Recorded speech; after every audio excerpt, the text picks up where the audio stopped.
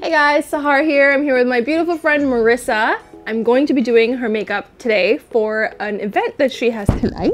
So the colors that we're going for are like burgundy, bronze. She's gonna be wearing some gold jewelry, so I'm gonna try to accentuate that with the look. To start off the look, I'm just starting by cleansing Marissa's skin. Marissa, please tell us a little bit more about your skin type. So I was blessed with a pretty easy to maintain skin type. Um, after my like pimple phase in high school, mm -hmm. it it was actually pretty easy to maintain. The only things I really do are cleanse once a day and then put some moisturizer, maybe a little bit of eye cream, and then that's wow. about it. Yeah, and making sure that I remove all my makeup at the end of the day. Like I cannot relate. so would you say your skin type is more dry or oily? Because I feel like it sounds like it's normal and it's just perfect. Okay, it's not perfect.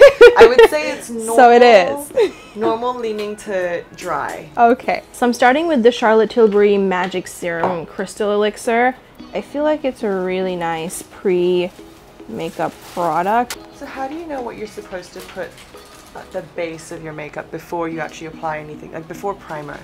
Um, it will depend on your skin type. So for everyone, you should always start with a moisturizer mm -hmm. because all skin types can use, you know, moisturizing. Um, but if you have like an oilier skin type, you should also use like a mattifying primer. So for me, my skin's extremely dry. I will just use moisturizer and like call it a day. Okay. So now I'm just using Dip Brow Gel by Anastasia Beverly Hills in Caramel just to fill in the arch of her brow a little bit more. I'm using a shade that's a decent bit lighter than her actual hair color because she already has quite thick brows and I don't want it to look like boxy. So Marissa, are you going to be on TV tonight? I think I am. it's an online event that they're streaming on all these different channels, so somebody's going to be watching. Okay. Maybe my parents. Oh, I'll watch. I'll watch. Send me the link. Shape locked in. Now I'm using the clear brow gel just to poof the hairs up a bit more. So I just applied a little bit of concealer over her lids. I'm going to blend it out to pick up any excess product. But what this does is just gives like a nice blank canvas for me to put eyeshadow on top of. We are going to move into eyeshadow. I'm just going to use this kind of like medium brown eyeshadow as a starting point. And I'm going to start by placing it on the outer corner of her eye, but making sure not to take it above the crease. And yeah, that's the beginning of the shape. That's how I like to start. Next, I'm going into this reddish shade from the Pat McGrath palette, just to kind of blend that brown out. This is the kind of burgundy twist to the look. I'm going to take the same color on a bigger, fluffier brush and blend outwards with less pressure. So the same burgundy shade looks more diffused. And I'm gonna bring that into the eye as well. So Marissa, you told me you studied psychology in university. How was that? I did. I, I honestly loved it. Did you look up? Yeah. Yeah, um, it was one of those things where I knew I wasn't really looking to be a psychologist, but the subject fascinated me. Mm -hmm. And so I thought, you know, these are skills that I can apply to daily life. Nice. And I did. Like I, I, I feel like I use it every day. So it's cool. Actually, I feel the same way about my degree. I mean, I did accounting and finance. oh my god, that's so useful. That's so much more useful. I it's been very useful with like my business and like running stuff. It helps a lot. The accounting part, I hated the finance part of my degree. Oh my god, I did like so bad in every finance economics module, but accounting, I, I could get behind. Are you quite like, are you quite good with numbers? I am. I, I was good at math in school. Could you look up? but I wasn't good enough to do pure math. So I actually did HL math. Oh no. See, I was a math studies gal.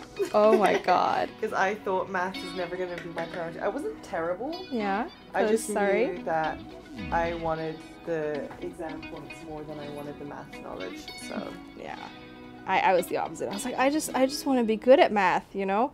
I wanted so badly to be good at math. It's actually like really sad because all of IB I was miserable because of HL math. Mm-hmm. Like I feel like my friends were vibing, you know, they were living their life. But I did HL math, I did HL art, and HL biology, and I was just always miserable. I but I love that combination of subjects though. Thanks. I think it was like pretty well rounded, Yeah. but it drove me crazy. Um, I was a humanities gal. nice. I did um, higher. No, I did by higher biology, higher literature, and psychology. Wow. I did psychology in IB. It was Mm. wonderful. Yeah, it was so good. My teacher was actually one of the reasons why I got into the degree. Wow. She was so inspiring.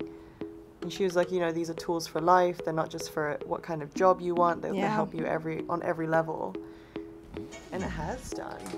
Cool. So because my school was a piece of shit, um, I had I had the same teacher for biology and psychology, Right. but he was wonderful, so we didn't mind. But I did see him way too much. like, Um, you know, there were times when we had like double period biology and then psychology later in the day, and we had like six subjects in a day. So Yeah. three of those are with him. We're like, sup. Like we're just in this room all day basically.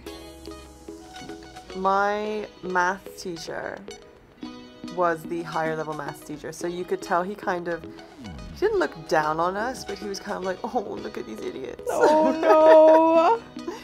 And he was the scariest teacher. Like he had the reputation for being the strictest, the harshest, the angriest. I can imagine, yeah. But he just treated us like we were special children. So I've used all the matte shades, but this like slightly shimmery shade is really calling me. I feel like just a bit in the center of the eye will really make the eye pop and look super three-dimensional. So I've applied the NARS Radiant Longwear Foundation on Marissa. And I'm just using a foundation brush to drag it out. I think it matches her super well. So I apply the foundation to the center of the face and then I start blending it out, like here. She has like really, really perfect skin.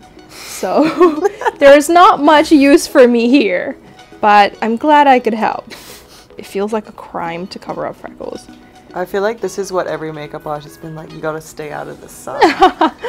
No, I feel like they're very, very cute. I once tried to buy um, primer Yeah. in up. Seoul Incheon Airport, Yeah.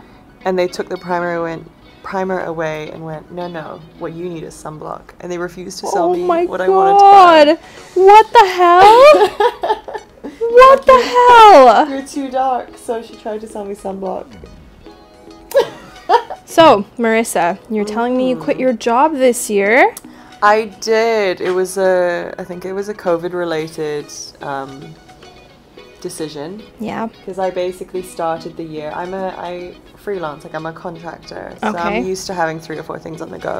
Mhm. And then COVID being COVID, a lot of stuff started to fall through, and then I was basically working really, really hard for like 20% of my salary, and I just thought to myself, why don't I just take the break?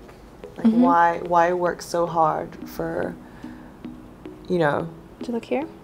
Yeah. not something that wasn't really giving me time and space to breathe? Yeah.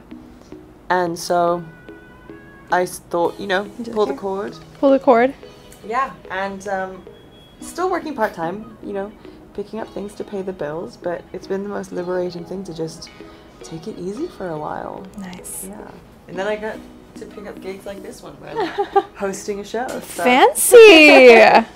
so, you worked in the travel sector before? Yeah, so I worked in travel and events, which were Wow. two industries that have not done the best with COVID. Probably f- not for a while. No, not for a while. And so it was really challenging. And the problem was that I loved the company I was working with. So Yeah. it was quite heartbreaking to walk away from. Yeah, I can imagine. Yeah. Yeah, but on to other brighter things. Started my podcast. Yeah, I Yeah. saw. You know, focused on other passion projects. And that's been amazing. Nice. So me and Marissa, I think, met maybe like one month ago. Yeah, we did. we met so recently. yeah. But I feel like I was always aware of you because of all of our mutual friends. I think I was aware of you because of your and Hunley's podcast. Oh, yeah. Yeah. I always think people are aware of me because I'm like a professional plus one. I turn up at all the events. oh my god, stop. No, I am. But I mean, I, I kind of like that role. because it means you get to like meet all these different people like you. Mm-hmm. Joke up, sorry. Yeah. Even though I'm not really in the same industry as you guys. Well, you know, you were in travel and events. You're like on the side of planning events. I'm on the side of showing up. it's close. True, close. I was just behind the scenes. Yeah. I've got the Fenty Beauty Matchstick in Truffle. I'm just putting it out on my arm. So this is her cheekbone. I'm gonna go higher because the whole point of the contour is to make the cheekbones look lifted. So you don't want to apply it like on or below your actual cheekbone. You want to apply it higher. I'm applying with this wonderful base brush from Bloom, which is a Singaporean brand actually. And I love the shape of it. It's so perfect to apply it and it kind of blends as I apply it, so it makes my job a lot easier. Next I'm using this Givenchy loose powder. It's the Prisme Libre Powder.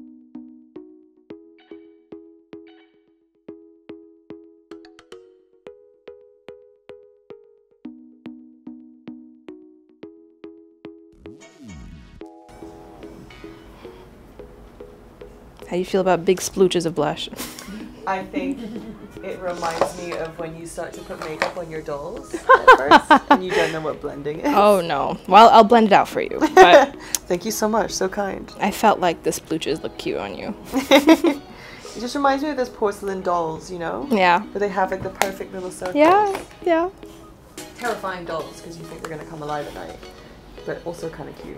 I did not think that till like movies fed me that Exactly. propaganda. That's what it is. Anti doll propaganda. Okay, we're finishing off with this gorgeous nude lip just to balance the eyes out. How do you feel, Marissa?